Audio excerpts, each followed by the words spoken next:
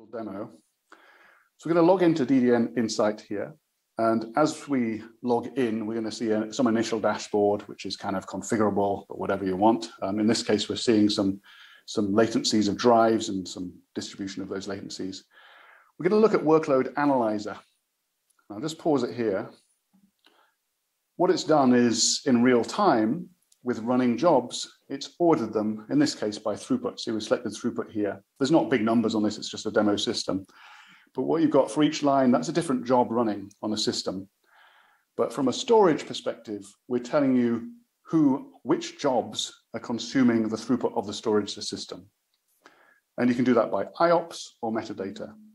So it's kind of cool because, you know, probably the one of the most common causes of, of troubles in these systems is, you know, some user does something a bit crazy, maybe writes a script that creates, you know, a billion files in a directory. And often the administrator won't know if there's a problem, if it's slow because there's a physical problem or a bottleneck somewhere. And with this, they can really identify what's often the case. There's a, a user doing something tough to the storage system and exhausting resources. Uh, so this is kind of unique. It's very difficult to do this. So we, we take in these RPCs, we package them in, we read them through a database, and then a user, an administrator can see exactly who's doing what, which client it's coming from. If we scroll forward a little bit, you can see this in a graphical basis too. Here we're seeing the overall throughput of all jobs.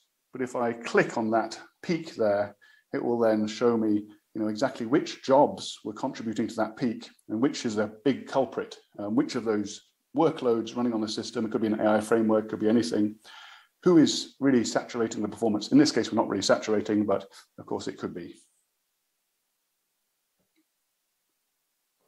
Uh, so we, we really like this. This is where we're going. Um, we're going a lot more development in this area um, because the metadata we actually collect from a storage perspective is kind of unique. And you think about people who've talked about data-centric architectures, um, leveraging this metadata is generally very powerful for understanding what's going on inside whole infrastructures and optimizing everything and keeping uptimes high.